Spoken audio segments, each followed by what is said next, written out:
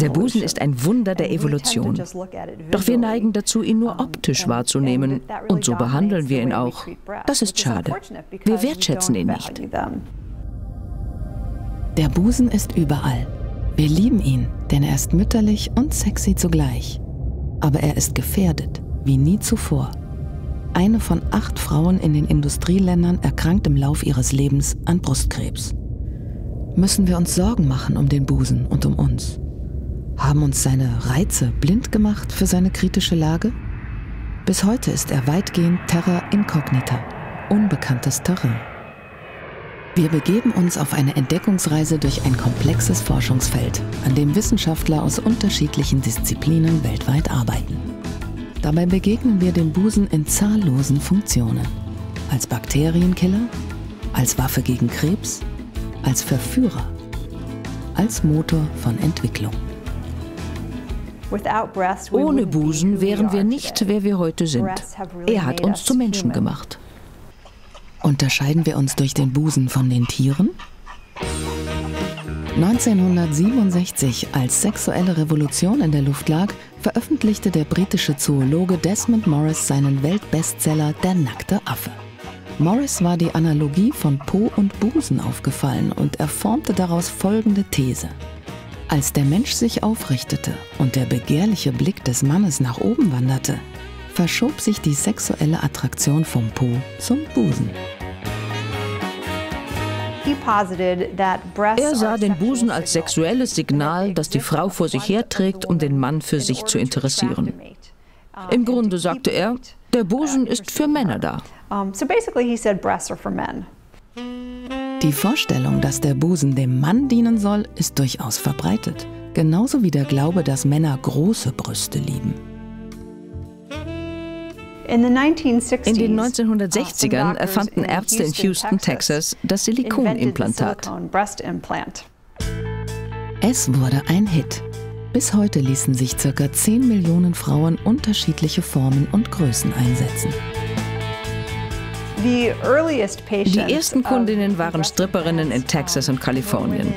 Das inspirierte Hollywood. Und schon bald brachten sie dort große Busen ganz groß heraus. Das wiederum kurbelte die Nachfrage in der ganzen Welt an. Überall wurden Brustimplantate immer populärer. Uh, and, and that in turn kind of drove really demand in the rest of our country and now in the rest of the world. Breast implants are becoming more popular um, everywhere. Man brauchte einen Markt für diese Implantate und so hat die Schönheitschirurgie eine neue Krankheit erfunden, die Mikromastie. Es wurde behauptet, dass kleine Brüste ein mangelndes Selbstbewusstsein zur Folge hätten und dass Frauen viel glücklicher wären mit Implantaten und großen Brüsten. Der Markt brummt. Hunderttausende von Frauen lassen sich jährlich die Brüste operieren. Längst hat der optimierte Busen auch die bürgerlichen Kreise erreicht. In einer Klinik bei Berlin arbeitet Ursula Tanzella. Ihre Spezialität ist es, Brüste aus Eigenfett von Bauch und Po aufzubauen. Vielleicht kriegen wir auch 250 beide Seiten hin. Und jetzt kommt die nächste Seite dran. Dazu machen wir einen ganz kleinen Stich hier außen und fangen an, jetzt die einzelnen Quadranten der Brust aufzufüllen. Das Zielgewicht sind so 250 Milliliter pro Brust.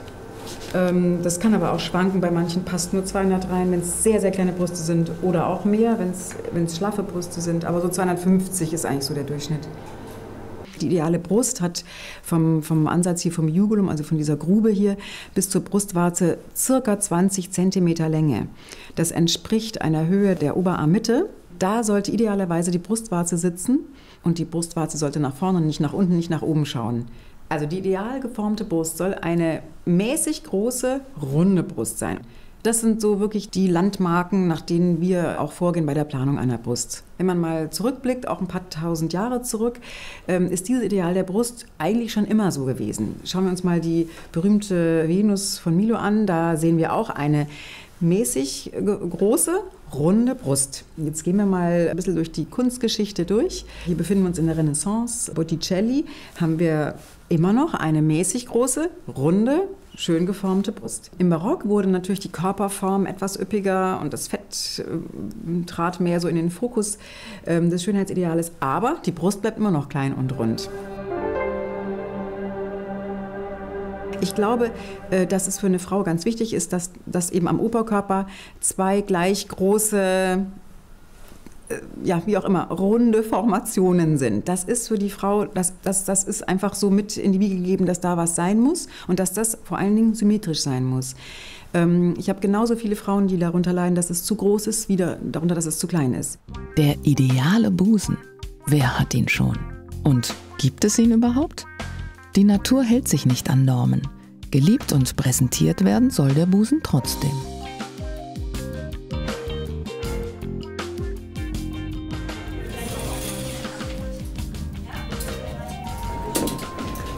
So, hi. Hi. Wir wollten ja ein schönes Dekolleté ja, zaubern. Schön. Okay.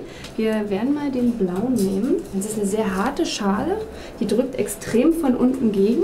Ja. Schauen wir, ob hier noch was zu holen ist. Alles, was Brust ist, muss ja ins Körbchen rein. So, und die Seite, ne? Mhm. Die Seite ist größer. Ja, Immer. Und die ist super rechts. jetzt, aber die rechte irgendwie. Ja, das ist so ein bisschen, da macht immer mein Problem. Ja. Aber 90 Prozent der deutschen Frauen haben unterschiedliche Brüste, deswegen bist du jetzt keine große Ausnahme. Ne? Müssen wir nochmal neu schauen. Ja, ja? okay, klasse. Was ist es, was den Busen attraktiv macht? Wir fahren nach Bamberg. An der Otto-Friedrich-Universität untersuchen Wahrnehmungsforscher, wo wir beim Betrachten einer Frau wirklich hinschauen. Ungefähr in die Mitte vom Bildschirm schauen, bitte. Mhm. Okay.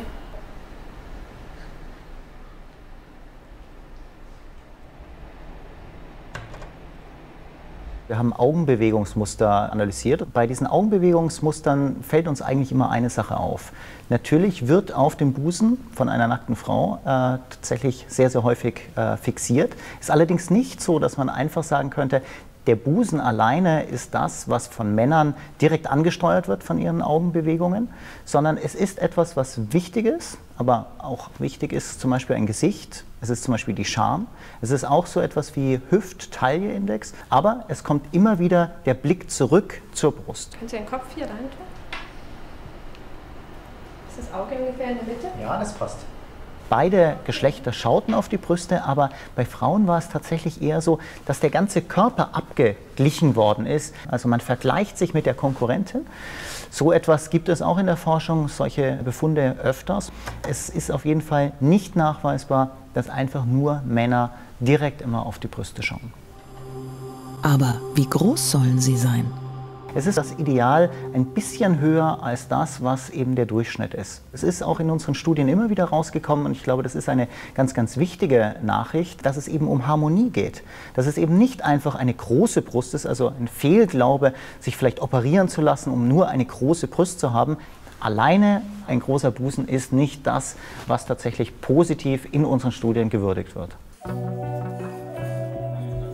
Der Busen interessiert uns offensichtlich alle. Aber welcher evolutionäre Plan steckt hinter diesem Körperteil, das wir so gerne anschauen?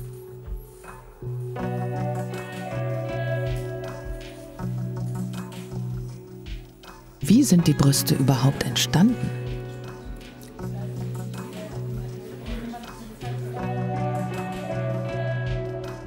Wir fahren nach Maryland. Dort treffen wir den Biologen Olaf Oftedal. Er beschäftigt sich mit der Evolution der Säugetiere, denn am Anfang war nicht der Busen, sondern die Milchdrüse. Vor rund 300 Millionen Jahren hat alles begonnen. Mit säugetierartigen Reptilien, den Synapsiden, die noch Eier legten, aber schon eine milchähnliche Flüssigkeit produzierten. Wenn wir uns die genetische Geschichte der einzelnen Milchbestandteile ansehen, dann erinnern viele noch an antimikrobielle Komponenten, wie sie auch in Hautsekreten gefunden wurden, die die Eier feucht halten sollen. Das war die Basis.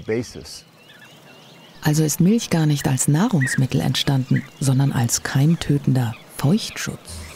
We now believe that the Wir glauben, dass die Milchbildung schon zur Zeit der Dinosaurier voll entwickelt war. Es gab diese riesigen Dinosaurier und winzige, für sie fast unsichtbare Säugetiere. Aber als die Saurier ausstarben, gelang es diesen Tierchen, sich auszubreiten und in ganz verschiedene Formen zu entwickeln. Die Milchdrüse wurde zu einem Erfolgsrezept der Evolution. Die Säugetiere konnten Pflanzenfasern in wertvolle Milch verwandeln und ihrem Nachwuchs mehr bieten als alle Lebewesen zuvor. Lange Zuwendung und den genau passenden Cocktail an Nähr- und Immunstoffen. Das Säugen hat den Vorteil, dass die Mutter die Nahrung bereits in eine verdauliche Form gebracht hat. Das ist der Schlüssel für den großen Erfolg der Säugetiere in den unterschiedlichsten Lebensräumen.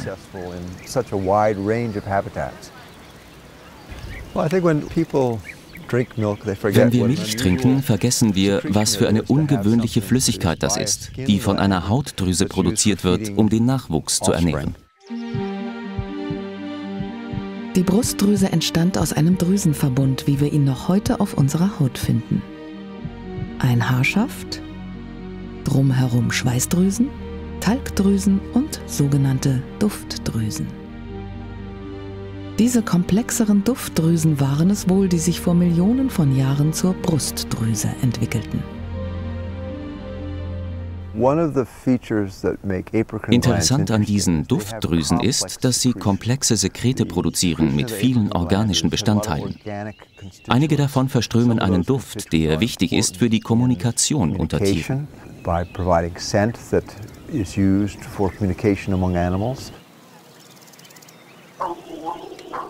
Neben dem Schutz gegen Mikroben scheint die Urform der Säugetiermilch also auch kommunikative Eigenschaften besessen zu haben. Besitzt Muttermilch solche Eigenschaften vielleicht noch heute? Um das herauszufinden, fahren wir an die University of California in Davis. Sie wurde einstmals als landwirtschaftlicher Ableger von Berkeley gegründet. Hier ist Muttermilch neben Wein das große Forschungsthema. Und ein weltweiter Markt lauert auf die neuesten Erkenntnisse aus diesen Laboren. Die Milch wird hier bis auf Molekülebene zerlegt. Wir treffen den Lebensmitteltechnologen Bruce German, der sich seit Jahren mit Muttermilch befasst, diesem komplexen, immer noch geheimnisvollen Stoff. Es ist ein bemerkenswerter Vorgang, der nur aus der Evolution heraus zu verstehen ist. Die Mutter löst ihr eigenes Gewebe auf, um ihrem Baby eine komplette Mahlzeit zu bereiten. Wir interessieren uns also für Brüste als bemerkenswertem Bioreaktor der Ernährung. Wie funktioniert er, dieser Bioreaktor, der unterschiedlichste Stoffe in die wertvollste Nahrung der Welt verwandelt?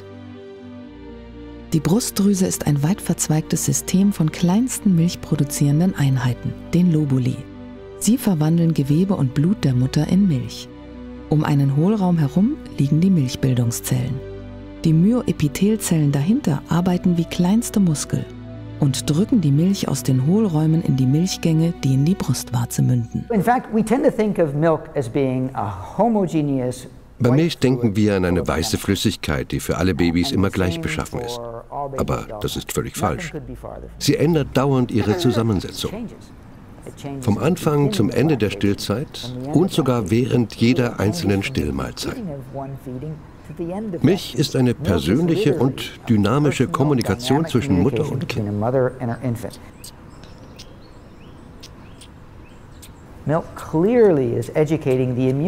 Milch erzieht das Immunsystem, denn das Immunsystem muss unterscheiden lernen, was gefährlich ist und wovor es sich schützen muss, und dem, was gut und hilfreich ist. Dabei hilft Milch. Ist Muttermilch auch ein ausgefeiltes Verteidigungssystem? Über welche Stoffe und Strategien verfügt sie? Bakterien zu töten ist schwer. Sie haben sich lange in feindlichen Umgebungen entwickelt. Mit einer Sache allein kommt man ihnen selten bei. Es stellte sich heraus, dass Lysozym giftig ist für Bakterien, genauso wie Lactoferrin und Lactoferrin-Peptide. Aber wenn man sie beide zusammenbringt und sie gemeinsam gegen pathogene Bakterien vorgehen, sind sie weit effektiver als eine allein. So the two are much more effective than either alone.